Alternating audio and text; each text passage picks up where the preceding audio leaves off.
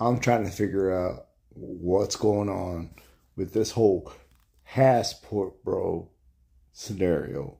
Any feedback would be appreciated. Thank you.